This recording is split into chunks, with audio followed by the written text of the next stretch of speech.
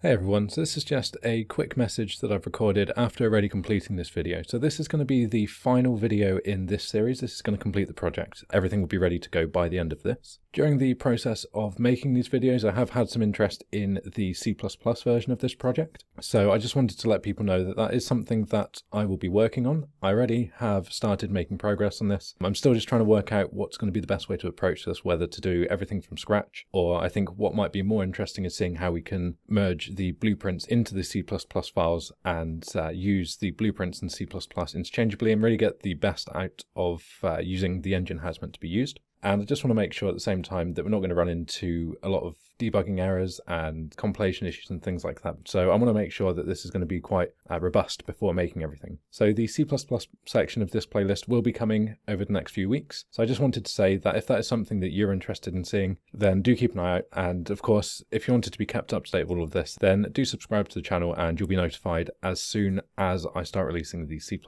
version of this playlist as well. Okay, so that was, as I said, just a quick message and I'll let you get back to adding the finishing touches to this project. So this will be the video where we complete the, the game loop and we add everything in that we have ready now. We have all of the widgets and we have the logic ready for the level progress. So we're going to bring all of this together and we will have a fully functional game. So to begin, if we go back to our game mode, if you don't already have the game mode class open, uh, remember, we have all of this from the previous video ready, and there's a few things that we need to implement on top of this. Now, I realized at the end of the previous video that we have this load next level function. You may have noticed this, and I'm not sure if you have this at the moment. So I have a bit of a problem where the shortcut key in Unreal to add a breakpoint if you want to debug through your code is F9 to add a, add a breakpoint. And I keep forgetting that Camtasia's default uh, pause and resume buttons for the hotkeys are are also F9 and F10.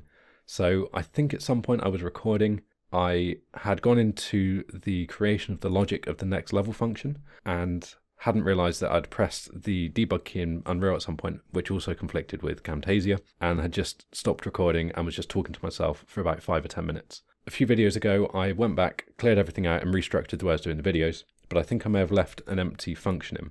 So if you have this and it's completely empty, that's fine. If you don't have this function, then just come down here, add another function and call this load next level because we will need this now. Before we hit this function though, what we want to do is we want to update our level complete function. Remember this was kind of a temporary placeholder function because regardless of what we were doing, we're always going to load main2 at the moment and obviously we don't want to do that. What we want to start doing is using some of the variables that we created in the previous video. We're going to drive some logic, we'll find out what the current level is, and we will go into loading new levels. So to do this, the first thing is to detach the open level node that we already had. In fact, we can just delete that altogether.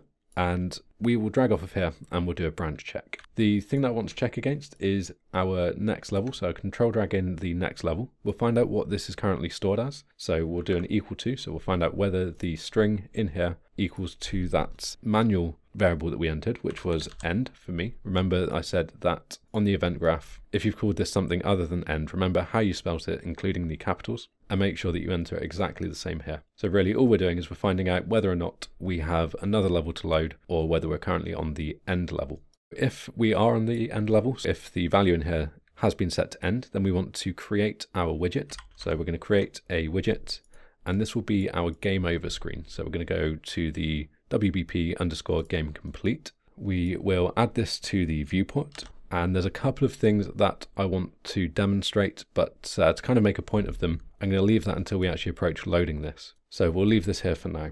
Now, the other option is obviously that we are still in the game and we have other levels to load. So on false, so if this isn't true, then we're going to open a level. But this time what we want to do is we will get the next level and we'll just plug this in here. This is going to do a conversion from a string to a name because the open level takes a name value and the uh, levels the way that we've stored them are stored as strings, but that's fine. So that means that if we're on, say, main 1 and this has been stored as main 2, then when this is called, when we've completed the level, we're going to load the next level. So if we do this now, in fact, we can actually do a quick test that this works. Again, if I could complete the, the game, then we will finish level 1 and this will load us straight onto level 2 and we know that because the course has changed and also because I haven't built the lighting. And then when we get through level three, we have our game over menu. Now the problem that I wanted to demonstrate here is that we don't have any control over the menu at the moment. So if you are following along, you'll notice that you don't have a cursor and you cannot interact with the buttons. So to fix that, we're going to come over here. We want to get the player controller, which can be found just here. And again, just for those of you who are not aware, this just relates back in our game mode. We can set things like the default player class, which we've actually done to be our main player. You can also set the player controller. So this is just giving us a default player controller. And this controls things like whether or not you can see the mouse. So this is going to be really useful. So if we drag off of here, we want to set the show mouse cursor option. So if we just type show mouse cursor and we want to set whether or not the mouse cursor is visible. So we're going to come in and we'll set whether or not the mouse cursor is visible. Now this has kind of fixed everything, but there's still one other problem that I want to address. So if we hit play and we will do this again, so we'll quickly complete the game and I just skipped level two. So we're back here. Now what I want you to notice is that I haven't pressed anything yet and we cannot interact with the buttons. You'll notice that there's no hover effect when I go over the buttons. If I was to press the replay button, nothing happens, but now the hover effect appears, and that's because you have to click into the screen once before you actually get access to your menu system. And this is something that bugs me. Uh, you'll notice that if there is a slightly less experienced developer who may have released a project, uh, you'll see them fairly often on Steam now. And you can kind of tell if it's been made in Unreal because this is a problem you see quite a lot, is that the reviewer or the person playing it will mention that they have to click into the screen numerous times before they can interact with the menu. And that is because they've missed this step. And what you want to do, we'll address this in a moment, find out what that is. Uh, what you want to do is off of the player controller, you also want to set the input mode. So by default, we have our game input mode because you want to be able to control the player, which is the game input mode. You also have an option called game and UI, so you could have partial control of the player, so you could use like WASD to move around, and you'd also be able to interact with uh, menu buttons. What we want, because we are only on a menu, we just want the input mode to be set to UI only, and we're going to plug this in and there's a couple of things we want to do now. So we want to set the widget that we focus on to be the one that we've just created. So I'm going to drag this over here. Again, I'm going to double click and uh, add a reroute node to make this a bit tidier and just move this around a bit. And we don't need to worry about locking this. So now if we do this again, again, I'll just skip to completing the game. So I've just completed the game and now I haven't pressed anything, but if I go down to the button, we'll see that we can immediately hover over the buttons. And now if I press any of the, the interactable buttons that we've created, I can replay the game as you would expect to happen. So this is just one of those things. It's a really simple step, but uh, it's one of those things that can really make your game seem unprofessional or unpolished if you if you miss it out. So if you've ever wondered as well, maybe you weren't aware if you've uh, played about widgets before and you wondered why I always have to click into that screen uh, that one extra time. Just because the input mode is set to default as game input, so you have instant control over your player, and we just want to change that to be the UI. Now, this, interestingly enough, is going to create another problem, but again, I want to try and approach these as we find the problems. So this will cause another issue for us, which I will show you how to fix a little bit later. So with that done, the error message didn't appear again, so I don't know what that error was, so we'll look out for that just in case something has gone wrong. Otherwise, that is our level complete and uh, level progress system implemented. What we want now is our main menu map. So if we go back to the maps folder, we're going to right click in here, we'll create a new level, and we'll just call this one main menu. So in the main menu map, we're going to save everything we've done and go into this, and you should be greeted with complete emptiness. It's a completely empty map, which is perfectly fine. Now, what we want to do here is because we don't want control over the player, we don't want to spawn our default class in, which at the moment is going to happen because we've set that to be the project's go-to class, which is our game mode that we've created, which is going to automatically spawn in our player. And because it's going to spawn the player into the abyss, the nothingness, what you'll find is you're going to fall straight out of bounds and you're going to go into the, uh, the game over state. So to override this, if we go to our blueprints tab just here, you can see that we have an override option. It's currently set not to be overridden. Now, if we navigate to the select game mode base class, we just want to change this to be anything which isn't the game mode that we've created. So I'm going to use the standard game mode class, which means that this is just going to give us that default spectator pawn, which is fine because the player won't see it. They're going to be only interacting with the UI. The main thing is that we don't spawn the cube and make the player lose without them knowing what's happening. Now, the next problem that presents is that we don't have any logic now to create a widget because we don't have access to this default